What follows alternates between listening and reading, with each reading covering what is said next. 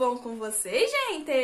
Estou aqui suando já. Quem assistiu o vídeo de sexta-feira já viu, já sabe por que, que eu tô suando. Tá um calor aqui dentro do ateliê. Eu tô até me abanando aqui, ó. Com a minha capinha do ateliê zebra, vocês já viram. E estou respondendo perguntinhas de vocês que vocês deixaram na minha caixinha de pergunta que eu fiz lá no stories do Instagram. Então, se você ainda não me segue no Instagram, perdeu a caixinha de pergunta, mas corre para me seguir lá @tai.arts, porque eu vou deixar outra caixinha de perguntas bem em breve para eu responder mais dúvidas de vocês, tá bom?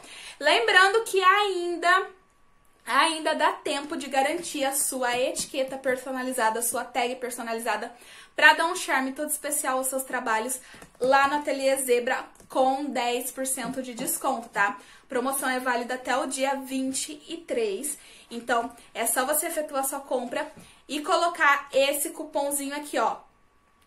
Esse cupom de desconto, como tá escrito, tá? Dessa mesma forma, TAI Dia Arte 10, tá bom? Que você vai garantir 10% de desconto nas suas compras lá no Ateliê Zebra. O link tá aqui na minha descri na descrição do vídeo. Se quiser saber mais, me chama lá no Instagram ou chama lá no Instagram do Ateliê Zebras, Zebra que eles vão responder vocês com todo carinho, beleza? Primeira pergunta pro vídeo não ficar gigante. Como conciliar o crochê e a casa?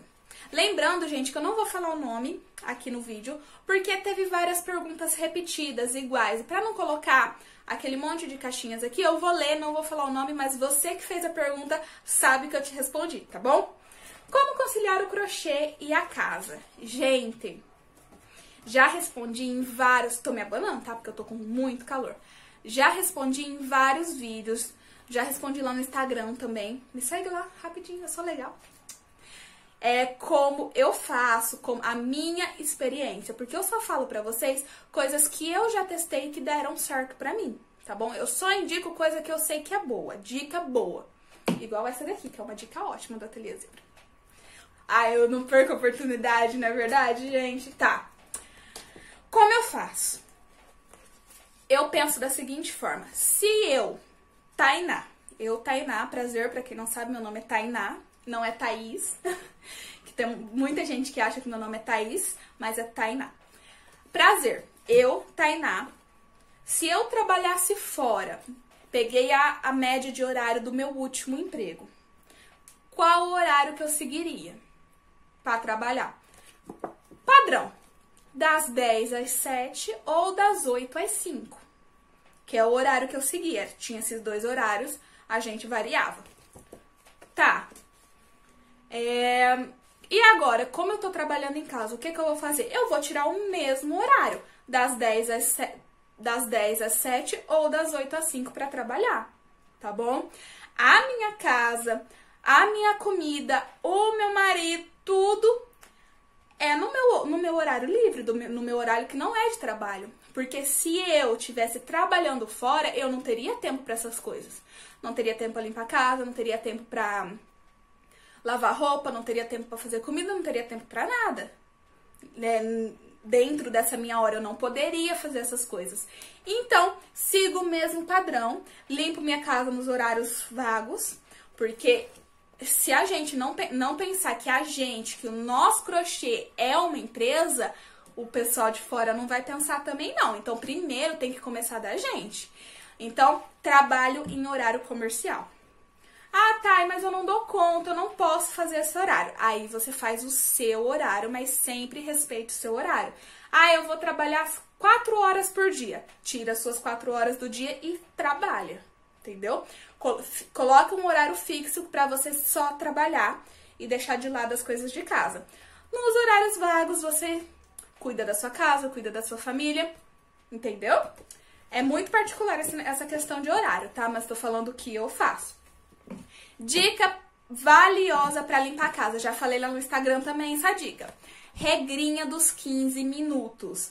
Todos os dias antes de dormir, depois de jantar, tiro 15 minutos pra dar uma organizada geral na casa. Lavo louça, limpo fogão, passo uma vassoura no chão da cozinha, dou uma organizada nas almofadas da sala, deixo tudo nos trinks pra no outro dia, é, antes de eu começar a trabalhar, eu não ter muita coisa pra fazer. Tira 15 minutos e dá uma geral na casa. Funciona super e é uma dica maravilhosa. 15 minutos antes de dormir, você acorda com a casa, ó, nos trinks. Próxima pergunta. Quanto você consegue ganhar por mês com o crochê? Olha a pergunta particular, hein, gente? Bom, não é um valor fixo. Eu não tenho um valor fixo pra, te, é, pra vender no mês. Tenho a minha meta. A minha meta é de mil reais por mês só com crochê. Claro que tem é, tem, tem mês que, que eu não alcanço a meta realmente. Tem mês que que não vende quase nada, vende 500, 600 reais. É claro, é uma boa renda já para quem é, trabalha só com crochê igual eu trabalho. Mas a minha meta que eu procuro seguir, que eu procuro manter é de mil reais somente com crochê. Claro que tem rendas por fora, como YouTube, como outras coisas. Mas com crochê minha meta é de mil reais. É claro que eu não consigo manter todos os meses. Tem mês que sai menos, tem mês que sai mais, tem mês que sai muito mais, tem mês que eu, teve mês que eu vendi quase dois mil reais de peça. Eu fiquei sem nada de pronta entrega, vendi um monte de encomenda. Chegando mensagem, gente, desculpa. Vendi um monte de encomenda, deu quase dois mil reais só do crochê. Mas é claro, é muito relativo. Janeiro e fevereiro, gente, é o pior mês para venda. Se você tá querendo desanimar do crochê, querendo procurar outro ramo, calma. Espera mais uns três meses pra frente, faz o teste mais uns três meses, porque janeiro e fevereiro foi ruim para quase todo mundo. É um mês muito fraco para renda, os clientes têm muita dívida para quitar, tem muito compromisso novo iniciando agora nesse começo de ano, muita conta para pagar, então eles não compram. É, é bem fraco para venda e é normal, tá? Acontece com todo mundo, o meu mês também foi bem fraco. Não tem um valor fixo, mas tem a meta de mil reais, mil e cem reais, mais ou menos o salário aí, pra tirar com o crochê no mês. Quais as peças que você mais vende? Como você faz para manter a pronta entrega? Duas perguntas em uma, tá? Vocês sabem que eu trabalho com encomenda. Um, parar de trabalhar com encomenda para manter só na minha pronta entrega, mas não consigo, porque os clientes, clientes bons mesmo, só tô pegando os clientes que eu sei que são clientes confiáveis agora, tá? Eles pedem e eu não consigo falar não. Às vezes é perigoso até perder o cliente por falar não para encomenda. Mas as peças mais vendáveis, como você vai descobrir? Depende da região. Se você trabalha com encomenda, qual peça que o pessoal mais pega na sua encomenda? Ah, é o tapete Mari. Ah, tá, e é o tapete Rafaela Camargo. O meu são esses dois que o pessoal mais gosta de comprar, realmente. O Mari e o Rafaela Camargo. Tanto na pronta entrega quanto na encomenda. Fiz o teste na, na, na pronta entrega, fiz uma, peguei mais quatro encomendas do mesmo modelo. Então, já sabemos que esse modelo é um modelo que o pessoal gosta. Vamos investir nesse modelo para produzir. Então faz o teste. Aqui, Rafaela Camargo e Mari amo produzir, o pessoal ama comprar. O espiral também é uma ótima peça, o pessoal tá amando nesses últimos dias aí para trás, o pessoal tá amando esse tipo de modelo. Então, invista nos tapetinhos econômicos, porque você consegue cobrar mais barato e o pessoal ama comprar porque eles são lindos e são mais em conta, na é verdade. Um, como conciliar a pronta entrega com a encomenda? Já dei essa dica também, gente. Você tem uma encomenda para entregar tal dia. Eu sempre coloco um ou dois dias a mais do prazo que eu que eu sei que eu consigo confeccionar a peça para ter uma folga. Durante essa folga, eu faço uma pronta entrega. Eu acabo uma encomenda, faço uma pronta entrega. E quando eu não tenho encomenda para fazer nessa semana, eu pego firme na pronta entrega, vou renovar meu estoque de pronta entrega para poder ter bastante pronta entrega, tá bom? Pronta entrega todos têm que ter. Porque sempre aparece alguém querendo uma peça de, uma, de última hora que você não vai dar conta e você mostra pronta entrega, o pessoal já ama. Então, pronta entrega, encomenda, faz uma, depois faz outra. Faz um dia pronta entrega, um dia encomenda. Faz manhã, na parte da manhã pronta entrega, na parte da tarde faz encomenda e assim vai, tá bom? fazer um tapete de crochê redondo sem embabadar? Gente, tem várias técnicas, tá? Aqui eu uso. Depende do modelo do seu, do seu tapete, ela não falou aqui.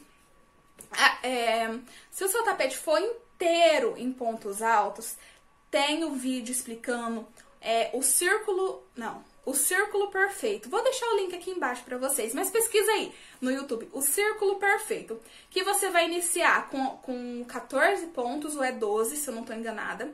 Na próxima carreira, você vai fazer um ponto, é, um aumento, um ponto alto. Um aumento, um ponto alto. Um aumento, um ponto alto. Na de cima, é, é um aumento, dois pontos altos. Um aumento, dois pontos altos. Na outra, é, um aumento, três pontos altos. Um aumento, três pontos altos. O círculo perfeito, tá? Fica certinho. Todo mundo que já fez fala que dá certo. Esses dias eu tava navegando no grupo de crochê lá no Facebook e a moça perguntou e um comentário eu vi o seguinte: quando o seu ponto começar a ficar deitado, você faz um aumento. Eu nunca usei, não tenho certeza como faz, porque eu sempre uso a técnica de intercalar, né? Numa carreira eu faço é, um ponto alto de espaço entre os aumentos, na outra eu faço duas, na outra eu faço três e vai indo. E nunca usei essa técnica do ponto deitado, mas se, se alguém já testou, comenta aqui embaixo, tá bom? Mas eu vou deixar o link de como fazer. Agora, os outros modelos, amiga, eu não sei te falar, não tem uma regra. Depende da agulha, depende da linha, depende do ponto também, do seu tipo de ponto, tá bom? Mais uma perguntinha. Como você faz para ser tão inspirador? Oh, meu Deus! Obrigada, meu amor. Gente, vocês acreditam que eu tô com calor. Vocês acreditam que eu até hoje eu não acredito que eu inspiro vocês, que tem pessoas que estão, estão se espelhando em mim para começar, é, para entrar no ramo, para fazer alguma peça e tal, e eu ainda não acredito, porque eu me inspiro em tanta gente então, tipo assim, eu, eu não me vejo como uma influenciadora para inspirar vocês.